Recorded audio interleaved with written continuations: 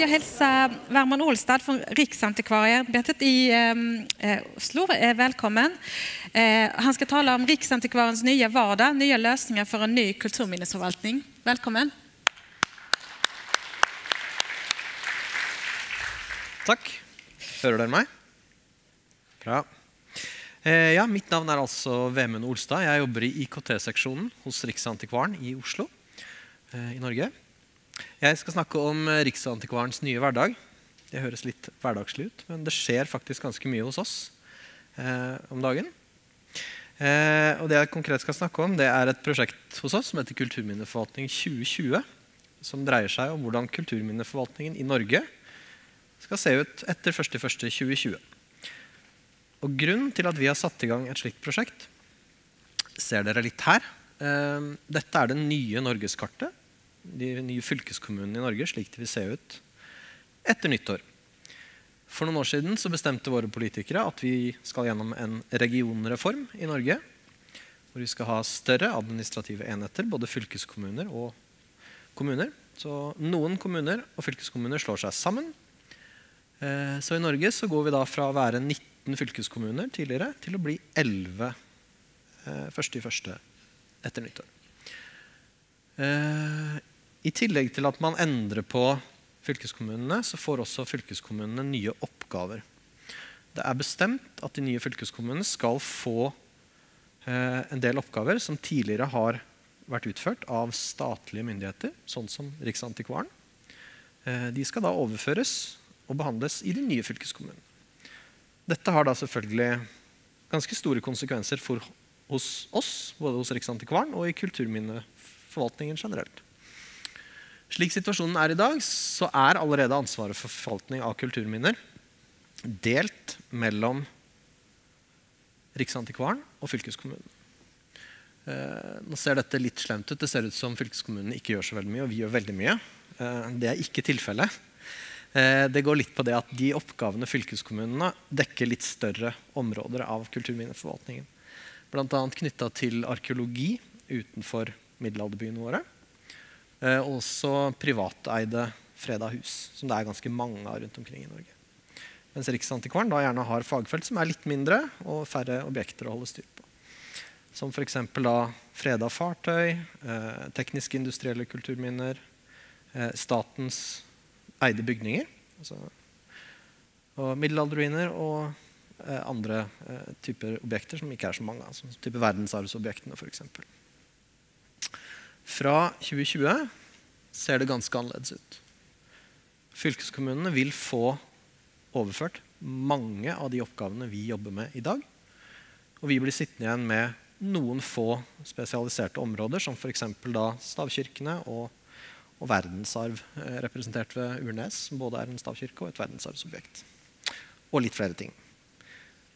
Så det er en uh, ganske stor endring som, vi, uh, som ligger foran oss tenkte jeg skulle gi litt statistikk på hvor mange saker det er snakk om. Jeg spurte vår samfunnsavdeling hvordan ser det ut i dag, og hvordan ser det ut i 2020. Så fikk jeg, nei, det skal vi skaffe, sa de. Når skal du ha det? Nei, vi har det i morgen, for jeg skal til Gøteborg og snakke om dette. Ja, men det går jo ikke. vi trenger jo litt tid.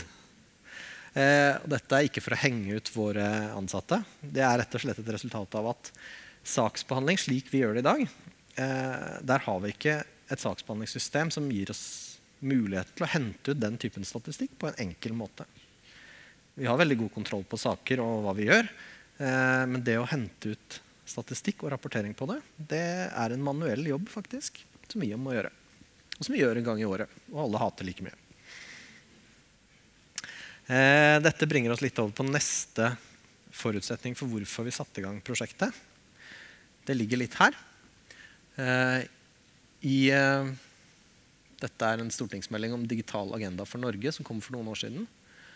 Uh, det er da en melding fra regjeringen og Stortinget om hvordan offentlig forvaltning skal bruke uh, digitale tjenester for å gjøre både hverdagen i forvaltningen enklere og bedre og mer effektiv, men også forenkle kommunikasjon mellom brukere og forvaltningen.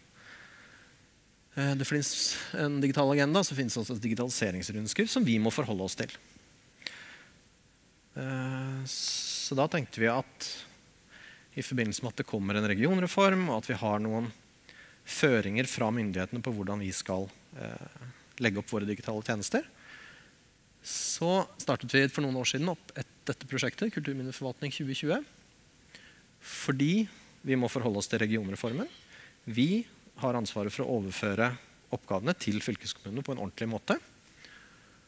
Eh, fordi fylkeskommunen skal få større ansvar. Og vi har også ansvaret for at eh, statens føringer på digitalisering blir gjennomført. Så hva skal vi da konkret gjøre i prosjektet? Eh, prosjektet er lagt opp sånn at det har én del som dreier seg om det faglige, og det har en del som dreier seg om det digitale.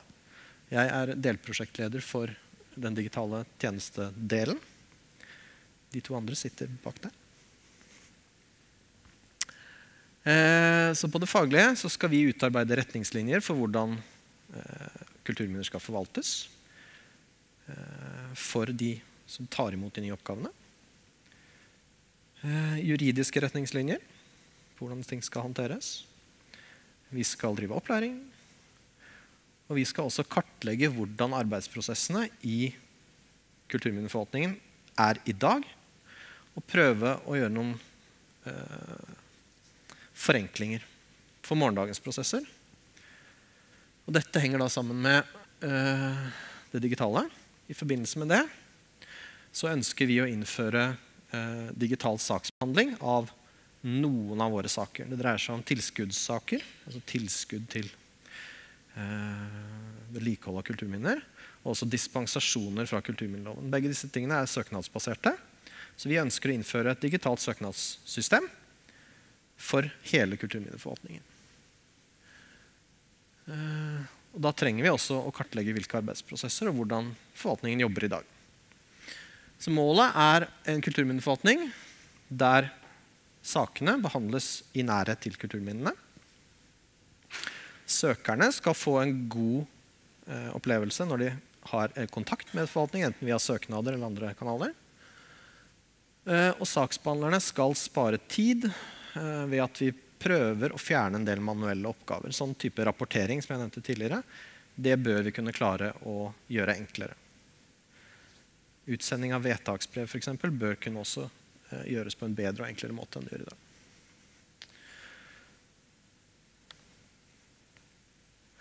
Nå sitter ikke vi og gjør dette helt alene. Vi har med oss eh, fylkeskommunene. Eh, prosjektet er representert i prosjektets styringsgruppe. Vi har en styringsgruppe som i praksis består av våre avdelingsledere hos Riksantikvaren og representanter for fylkeskommunene. Nei, fylkeskultursjefen i Rogaland sitter i styringsgruppen, og IKT-sjefen i Agder. Så vi har på en måte både fag, fagligheten og eh, det digitale i fylkeskommunene representert i vår eh, styringsgruppe. Vi har en referansegruppe som vi bruker for å få innspill på ting som vi jobber med. Litt uformelt. Eh, vi har et brukerforum hvor vi kan teste ut ting blant saksbehandlere i fylkene. Nye veiledere, nye søknadsskjema som vi lager. Den typen ting. Og så har vi et prosessforum som jobber med å kartlegge prosessene i kulturminneforvaltningen. Hvordan jobber vi i dag i de forskjellige fylkeskommunene og hos Riksantikvaren med kulturminnesaker? Eh, prosessforumet er veldig viktig for oss som driver med saksbehandlingsløsningen. For vi baserer vår digitale løsning på hvordan arbeidsprosessene skal foregå. Ja, som sagt, Prosessforumet er veldig viktig for oss. Eh, det som dukker opp der, skal godkjennes i styringsgruppen. Eh, man skal komme, man, vi prøver i hvert fall så godt vi kan å bli enige om én arbeidsprosess for de forskjellige fagområdene og tilskuddsordningene våre. Eh, og mandatet er jo at man skal se på muligheter for å kunne forenkle så mye som mulig. En del ting er gitt av forskrifter og lovverk. Men måten man jobber på i praksis, der er det rom for forbedringer en del steder. Nå er det jo sånn i forvaltningen i dag, i hvert fall i kulturminneforvaltningen, at vi, ikke, vi legger ikke noen føringer på hvordan eh, fylkeskommunene skal jobbe med kulturminner. Det er litt opp til de selv å finne en måte som fungerer på. Det vil jo si at det er ganske stor variasjon på hvordan de jobber i praksis.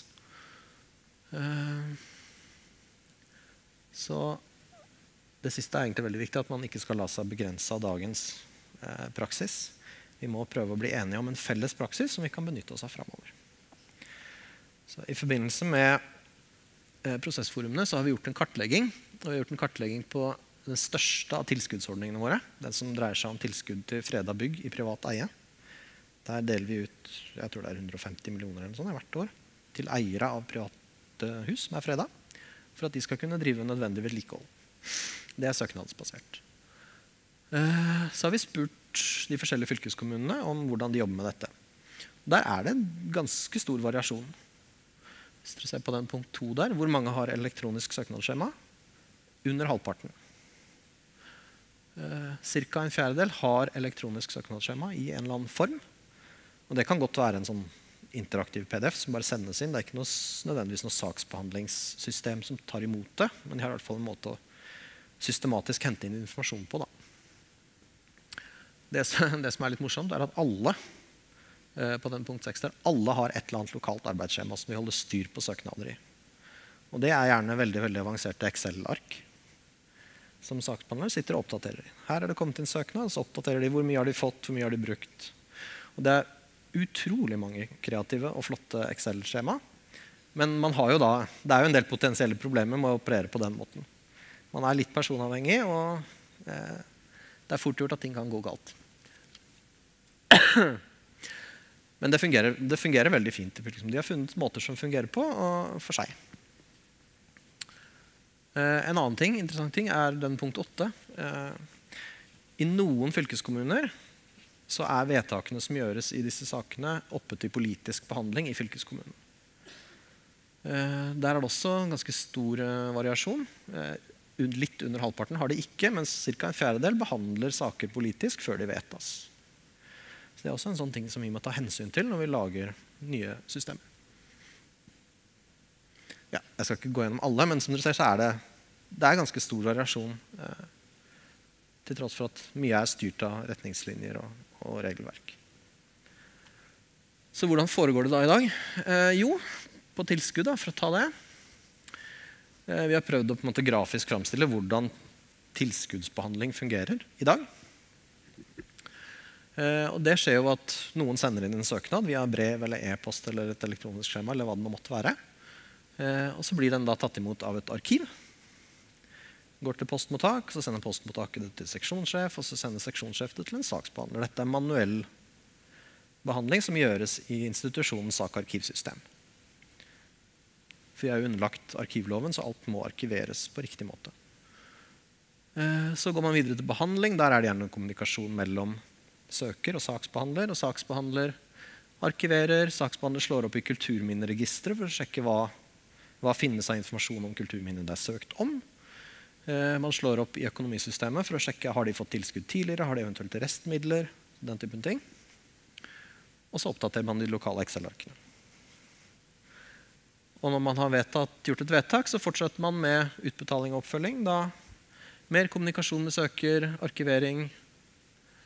Eh, også en del eh, mer eh, aktivitet i økonomisystemet. Man får gjerne fakturaer som man betaler ut. Så ekspederes de, og så oppdaterer man de lokale regnearkene. Vi håper og tror at vi ved å innføre elektronisk saksbehandling kan få en arbeidsflyt som ligner litt mer på dette her. Det nye systemet, Vi har for så vidt et nytt system som vi bruker og tester ut. Det heter Digisak.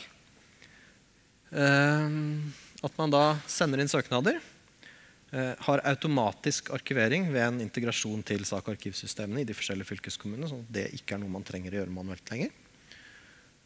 Eh, og at måte, den interaksjonen med de forskjellige fagsystemene skjer i saksbehandlingssystemet via integrasjoner. Eh, og skjer da på en måte litt under panseret for saksbehandlerne.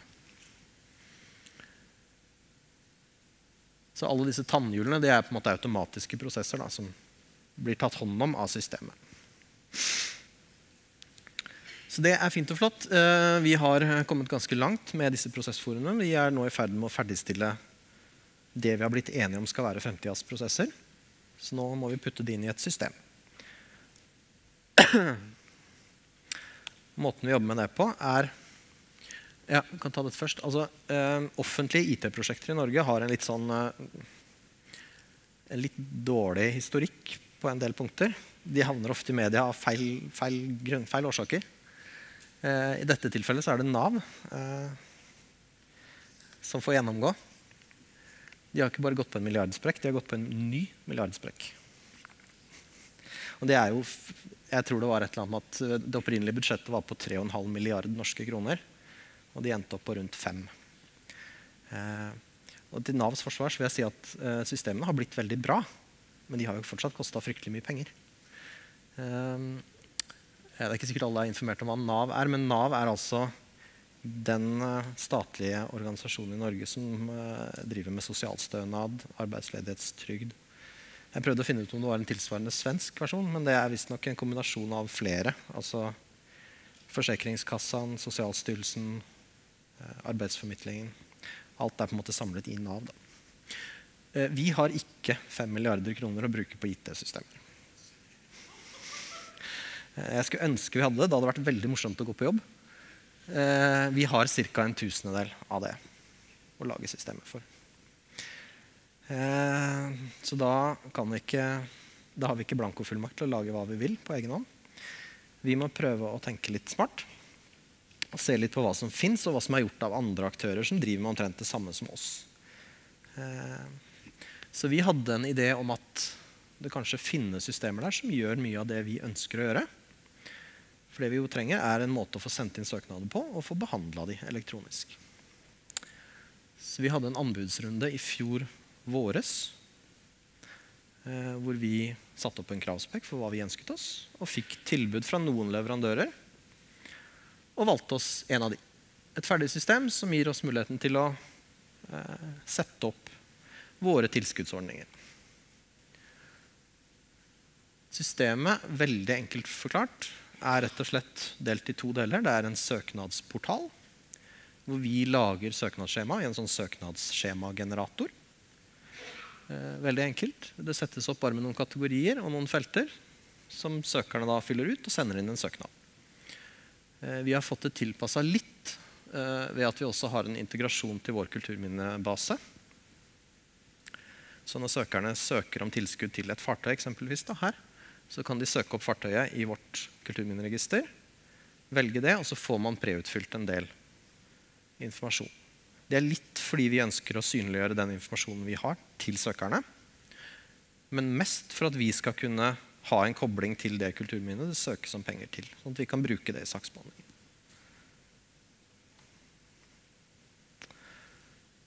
På saksbehandlersiden så er hele systemet såkalt prosessbasert. Det er altså basert på at man tegner opp en sånn arbeidsprosess. Og Her kommer arbeidet med disse prosessforumene inn. Når de har gjort sin jobb og laget en arbeidsprosess på sånn skal morgendagens arbeidsprosess i kulturminneforvaltningen være, så putter vi det inn her. Lager en arbeidsprosess, og så setter vi på noen oppgaver underveis. Dette trenger ikke saksbehandleren forholde seg til. Dette er for oss som utviklere. Hvis dere ser den, eh, Der kommer det inn en søknad helt på øverste venstre. der, øverste mottak. Så blir den tildelt en organisasjon, om det er en fylkeskommune eller om det er oss. Det er litt basert på hva slags type kulturminne det er. Så går den til en leder, på den midterste der hvor det står 'fordele søknad'. Eh, leder fordeler søknaden til en saksbehandler. Og så kommer den da til saksbehandler. I første steg i søknadsprosessen er denne kontrollere søknad. Her ligger det en oppgave som er aktiv. Måten saksbehandler ser dette på, er at han får en melding om at du har fått en søknad som du må kontrollere. Slik ser det ut. Her er søknaden. Det er en, et loft hvor de har søkt om midler til refundamentering og takomlegging. Og så må man da se på ok, er denne søknaden ferdig utfylt, eller trenger jeg mer informasjon. Hvis den ikke er komplett, så kan man etterspørre informasjon og sette en ny frist på så må man sende inn. Og sånn går saksprosessen stegvis framover. Man får nye oppgaver når man er ferdig med én, og så går den videre. Gjerne til andre personer som skal gjøre andre vurderinger. Helt til man sender ut et vedtaksbrev. Det er basert på brevmaler. Så flettes da informasjon fra forskjellige felt i søknaden inn i vedtaksbrevet, og så sendes det automatisk ut til søker. Fungerer det? Ja, foreløpig så ser det lovende ut. Vi har jo ikke brukt det så lenge. Vi har mottok systemet eh, på ettersommeren i, fjor og har gjort unna første pilotrunde nå. Og tilbakemeldingene fra både brukere, søkere og saksbehandlere er at dette ser egentlig ganske lovende ut.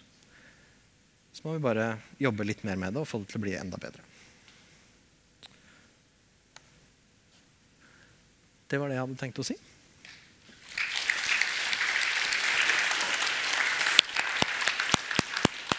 Takk så mye. Det, vi er precis på tiden, men er det noen som har en fråga så hinner vi nå med det. Det är klart att ni tror på idén med den här nya sammanslagningen, de här nya större fylkene. Men vad ser ni för risker med den här nya organisationen? Finns det några? några? Nei, Vi er vel ikke så veldig bekymra, egentlig. Eh, Det er klart det har jo store konsekvenser, i hvert fall for oss, da, som, hvor det er mange saksbehandlere som ikke skal saksbehandle lenger. Nå er det jo sånn at Vi får jo nye oppgaver. Vi skal fortsatt være ankeinstans, vi skal fortsatt være rådgivende organ for fylkeskommunene. Så tror vi ser ganske optimistisk på det, egentlig. Nej, förlåt. Det finns säkert möjlighet att ställa frågor i fikapausen. Ja, for all del. Ja, tack så mycket. Takk prosjektlederen her. Takk. Tack. Tack. Tack. Tillbaka igen om en halvtime här.